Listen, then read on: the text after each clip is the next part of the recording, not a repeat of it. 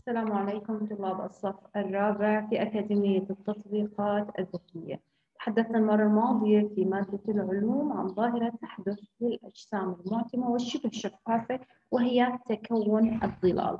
هاي الأجسام لأنها آه، لا تسمح بمرور الضوء من خلالها والشبه شفافة تسمح بمرور جزء من الضوء فيحجب الجسم الضوء آه، كليا أو جزئيا فبالتالي يتكون له ظل. آه، شفنا امبارح التجربة اللي عملناها في المختبر. لاحظنا آه، تكون الظل للأجسام المعتمة مكعب والكرة لاحظ هي تكون الظل. أما الأجسام الشفافه زي الهرم اللي شفناه مصنوع من الزجاج لم يتكون له ظل. الظل يتكون في الجهة المقابلة للشمس. الشمس تكون بهذا الاتجاه من النافذة الظل يكون في الجهة المقابلة.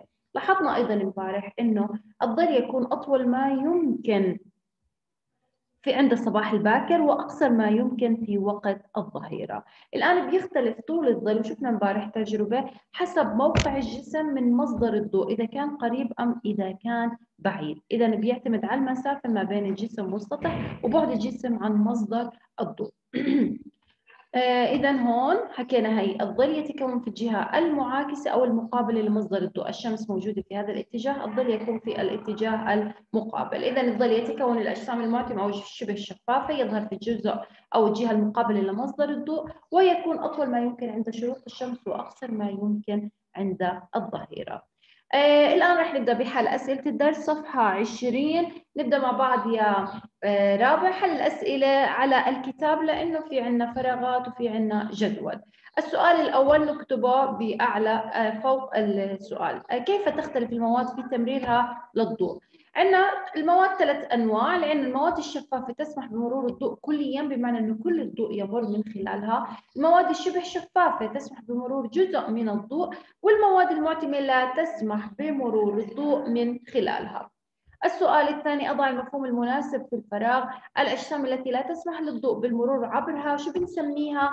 الأجسام أو المواد المعتمة الظاهرة التي تحدث عندما تحجب الأجسام المعتمة الضوء عن مناطق معينة اللي هي الظل.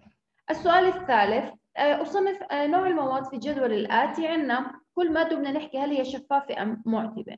الزجاج هي مادة شفافة، الخشب مادة معتمة، والورق مادة معتمة. السؤال الرابع كيف يمكنني زيادة طول الظل لجسم ما باستخدام مصدر ضوئي. إذا أنا بدي أخلي الظل طويل أقوم بتقريب الجسم من مصدر الضوء. إذا من خلال تقريب الجسم من مصدر الضوء. السؤال الرابع الخامس والأخير آه، أختار الإجابة الصحيحة. الظل الصحيح الذي يتكون على الشاشة للجسم في الشكل في حال تقريب الضوء من الجسم. لاحظ أنا بدي أقرب الضوء من الجسم. أولا الظل رح يكون إما ألف أو باء لأنه معتدل. جيم ودال مقلوب هاي خطأ.